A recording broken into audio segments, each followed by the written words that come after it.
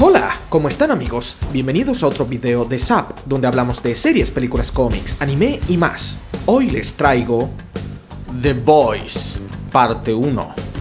¡Disfrútenlo!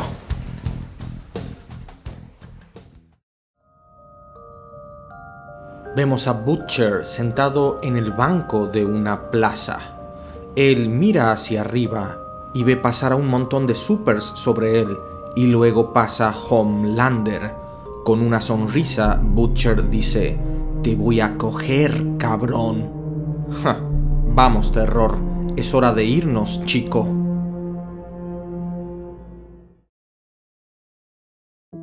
Al mismo tiempo, en un parque de diversiones vemos a Howie paseando y disfrutando con su novia.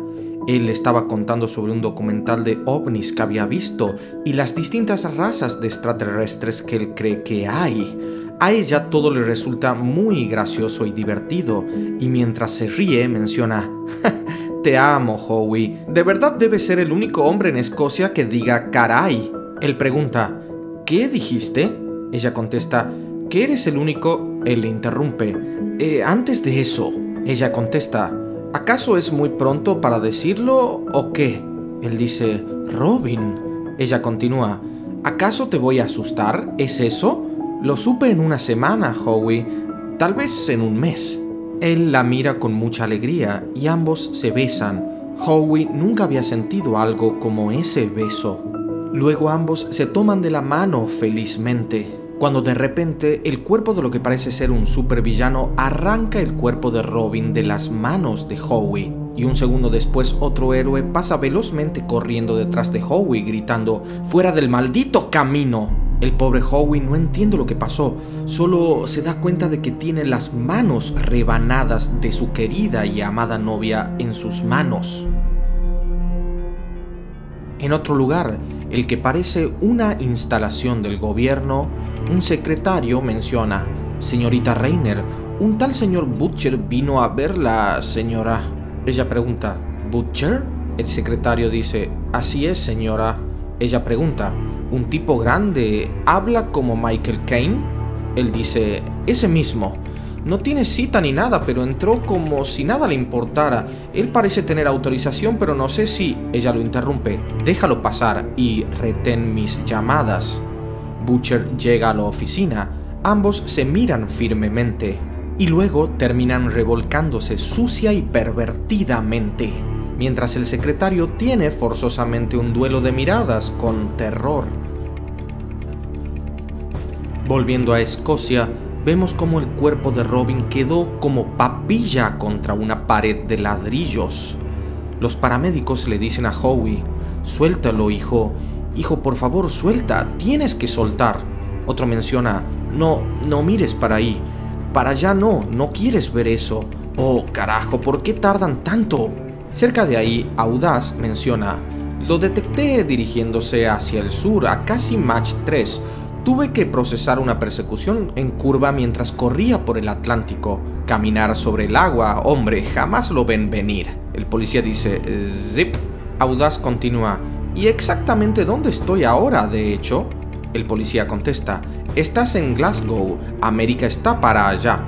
Otro policía dice, así que ¿por qué no te regresas, maldito cabrón? Mirando al villano que derrotó, Audaz dice, bueno, supongo que a este tonto debería... En ese momento él escucha los gritos de Howie que estaba desesperado, desconsolado, gritando como un bebé.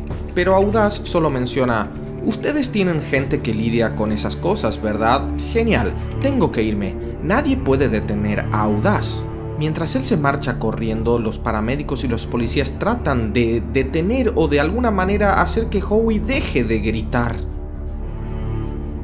Volviendo con Butcher, luego del revolcón, ella menciona, Supongo que viniste a ofrecer tus servicios. Él contesta, vine aquí a darlos, cariño. Ella responde, el mismo pedazo de basura arrogante que siempre. Él contesta, funciona, ¿no? Te quitaste las bragas más rápido que una jodida bala en movimiento. Ella grita, maldito cerdo. Él dice, ¿cómo está Dakota, Bob? ¿Alguna vez trató de metértela en una reunión semanal? Ella dice, El presidente es un hombre de total integridad moral. El solo oírte hablar de él con tu sucia boca es suficiente para darme náuseas. Lo que sea que hayas venido a decir, dilo, estoy ocupada. Él pregunta, ¿han salido directivas nuevas desde la oficina oval últimamente? Ella pregunta, ¿cómo? Él dice, vamos, Rainer, oigo cosas, lo sabes. Debiste llamarme tan pronto lo supiste. Sé por qué no lo hiciste, pero debiste. ¿Hiciste algo de progreso por tu cuenta? Me interesa saber. ¿Algo de éxito? Ella trata de contestar, pero él la interrumpe. Esto apesta a la CIA. La mitad de las veces sus idiotas no podrían explicar por qué hay orina en una cervecería, y ahora hay algo así como 17.000 supers en el mundo, y me atrevería a decir que no tienes más que nombres y unas fotos del 90% de ellos, pero los conozco. Héroes o villanos, santos o pecadores, adolescentes o de la edad de oro. Los conozco o conozco a alguien que los conoce. Ella dice, conoces a un hombre que los conoce. A lo que él contesta, la leyenda no hablará con nadie más que conmigo, madame directora, así que sáquelo. Ella abre su cajón y saca un archivo, y refunfuña mientras lo hace.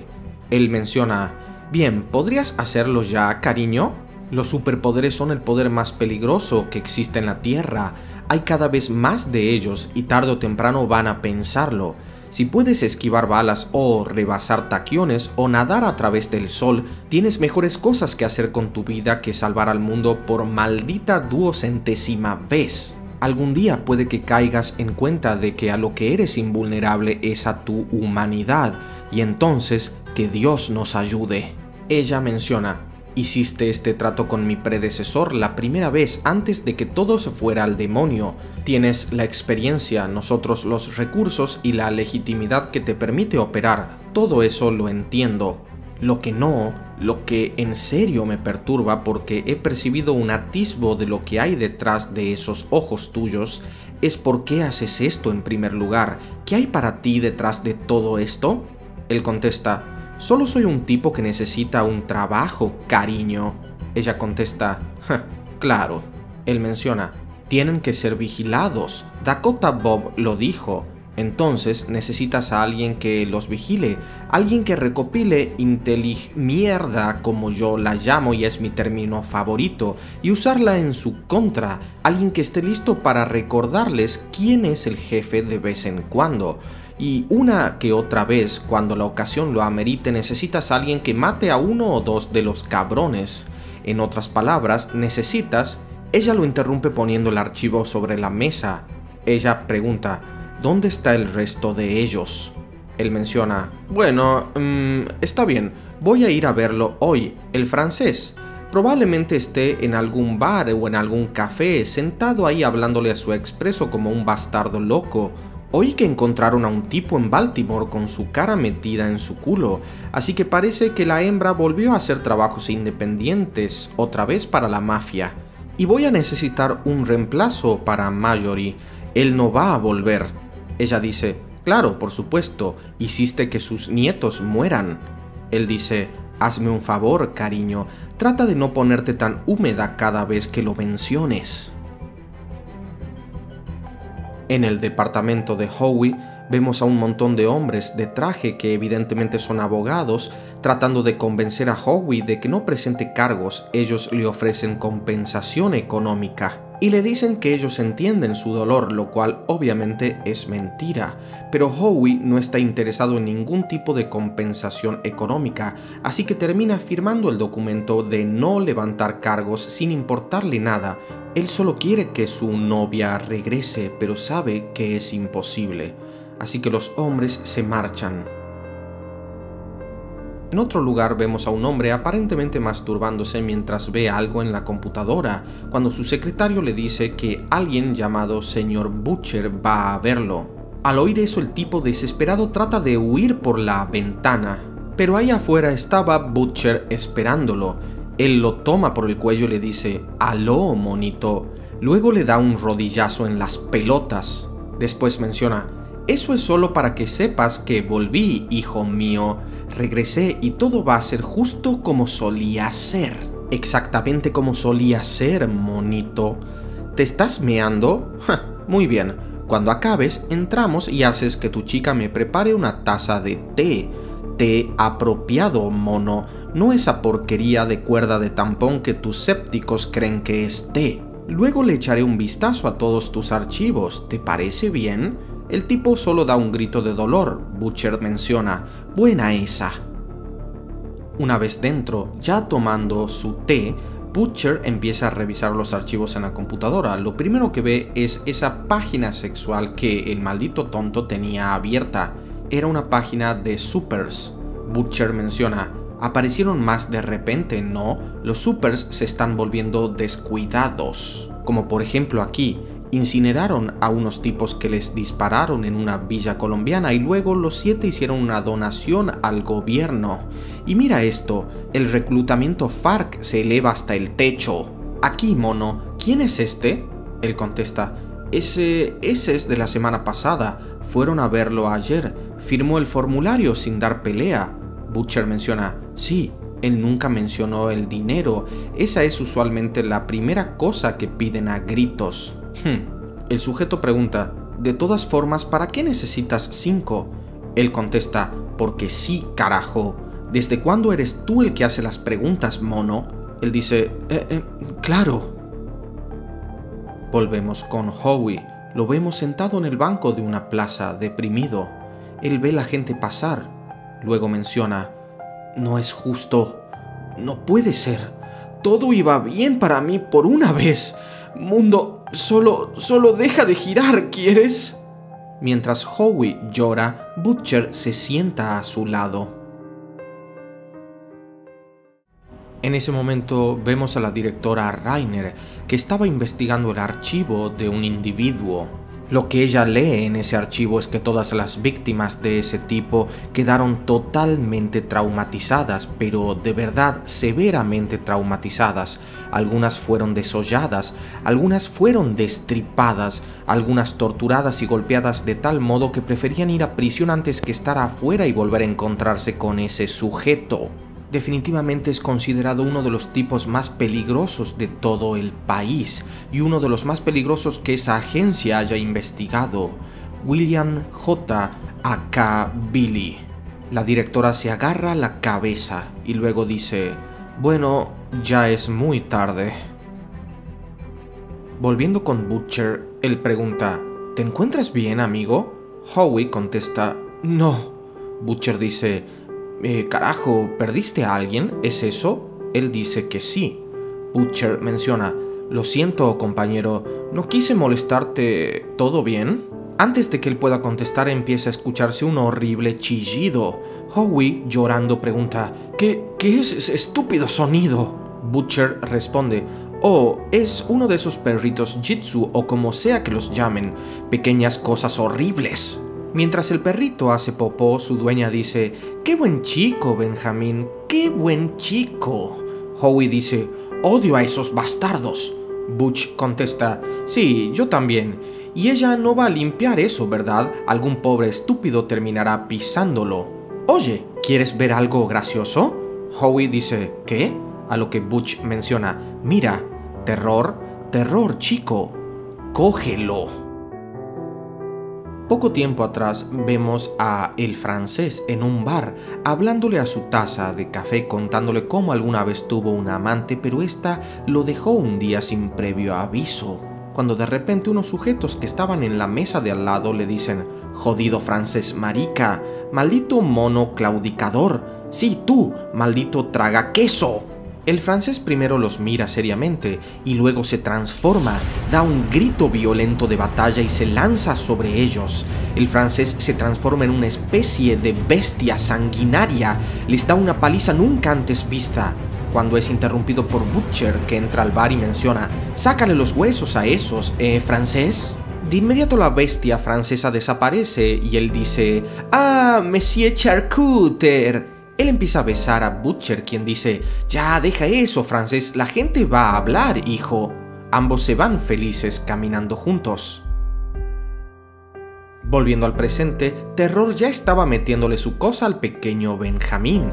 Su dueña dice, espantoso, bruto, horroroso, suelta a mi Benjamincito. ¡Alguien, ayuda! Howie riéndose dice, esta es la cosa más loca que haya visto en años. Butcher menciona, bueno, volvió a ponerte una sonrisa en la cara, ¿o no? Mira, Howie, no voy a tirarte basura. Sé quién eres, sé lo que te pasó.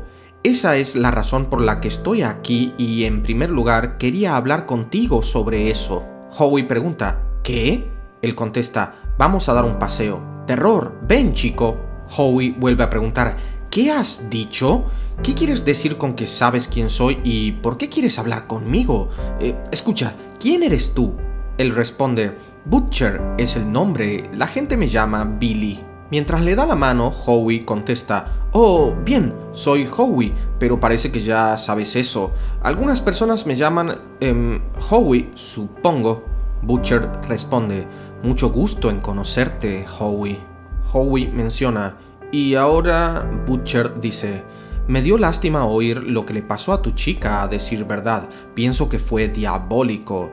Y yo sé que fueron a verte después, te hicieron firmar un montón de porquería cuando no estabas en ningún maldito estado mental como para tomar decisiones, estabas fuera de ti mismo. Howie pregunta, y bueno, ¿quiénes eran? Quiero decir, ¿cómo sabes todo? Él contesta, Solía dirigir un equipo que tenía la obligación de detener el tipo de porquería que le sucedió a Robin, o si no podíamos detenerlo, nos asegurábamos que los culpables no tuvieran la capacidad de volver a hacerlo. Howie pregunta, ¿superhéroes? Él contesta, Sí, ya sabes, la gran brigada en calzoncillos tratan al mundo como si fuese su campo de juegos. Como sea, Parece que ahora es nuestra hora de volver, así que estoy yendo de un lado a otro tratando de reunir al grupo. De hecho, estaba en Estados Unidos el fin de semana haciendo exactamente eso. Unos días atrás, la hembra de las especies.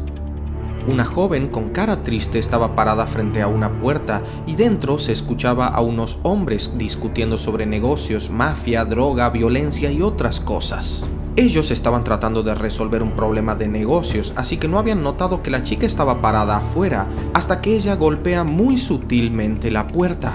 Ahí es cuando ellos la ven por la ventana. Uno de ellos dice que la chica es linda, pero otro va a abrirle a ver qué necesita. Él dice, ¿sí? ¿Podemos ayudarte? Eh, ¿hola?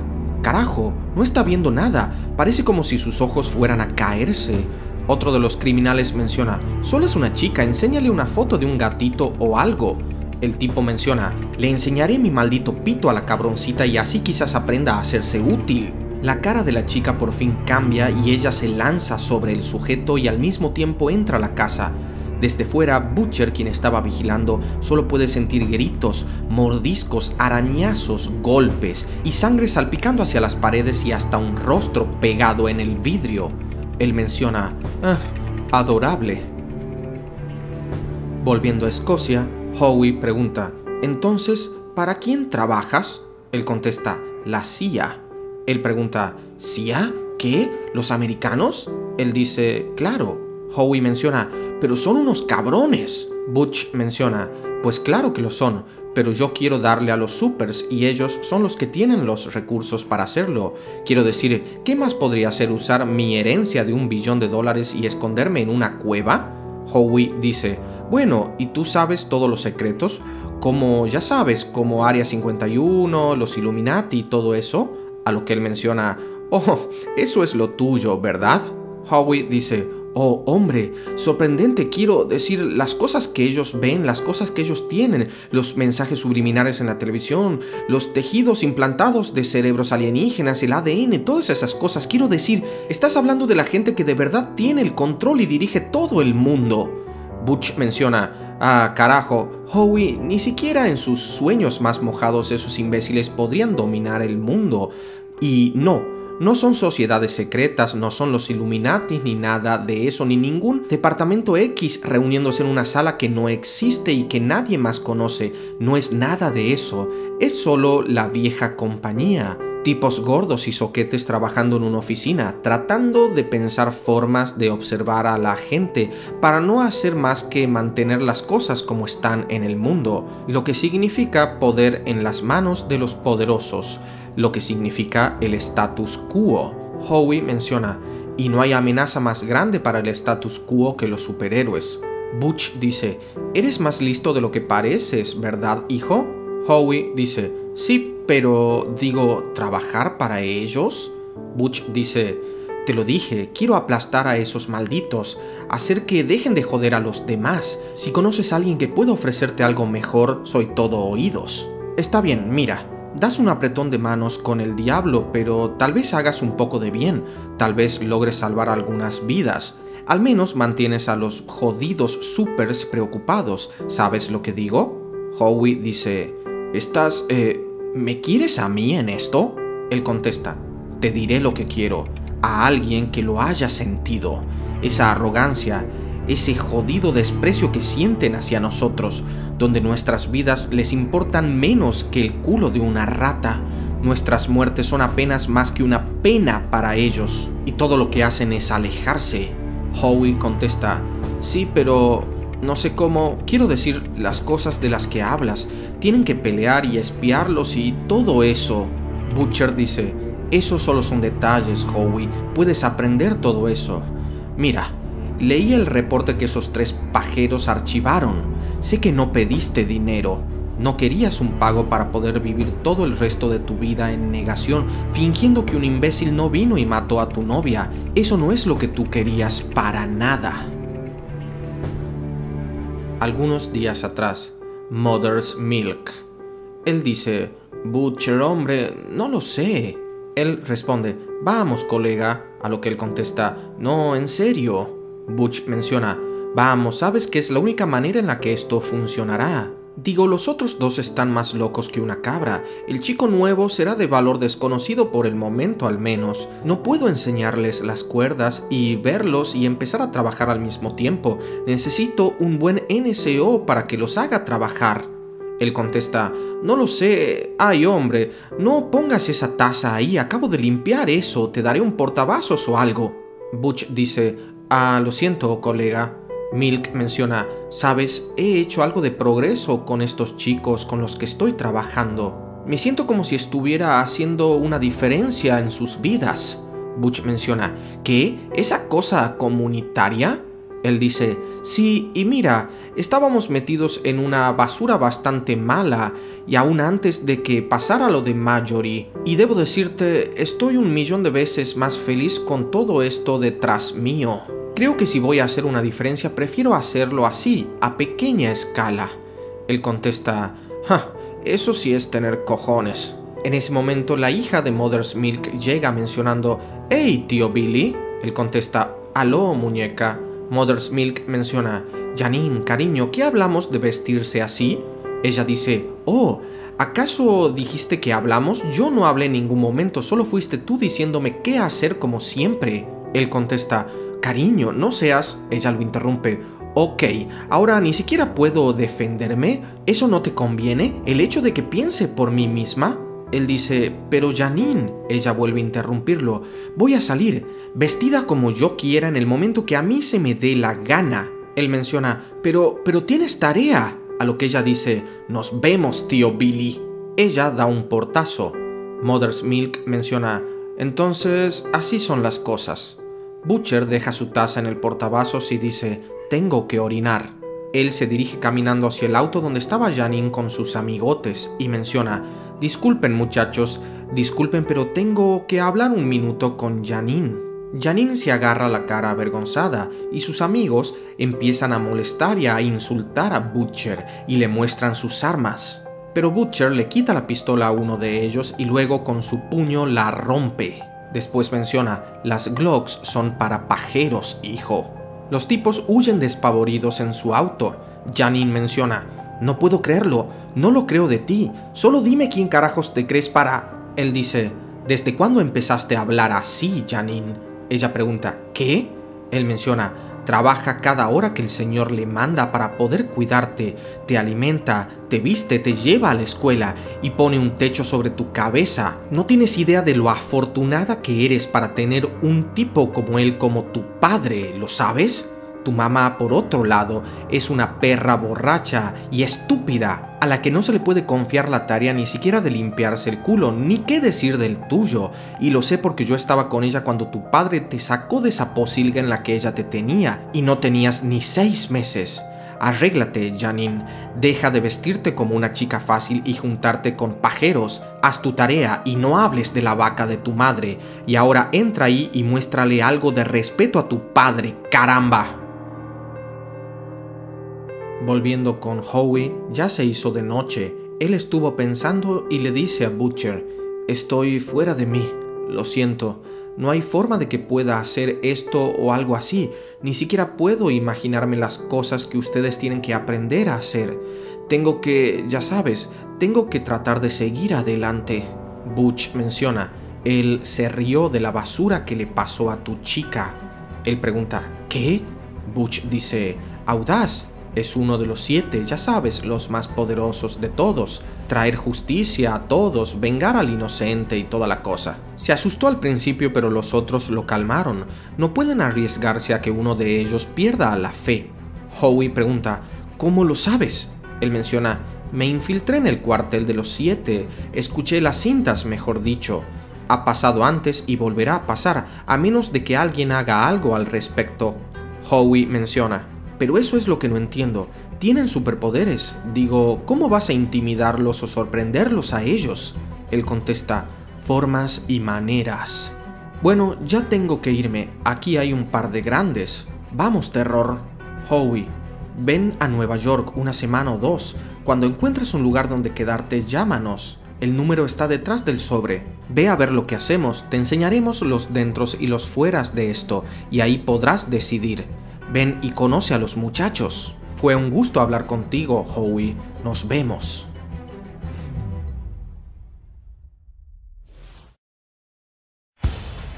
Bueno amigos, hasta aquí llegó el video, espero que lo hayan disfrutado y no se pierdan la siguiente parte de este gran cómic que subiré al canal en los próximos días. ¡Hasta pronto!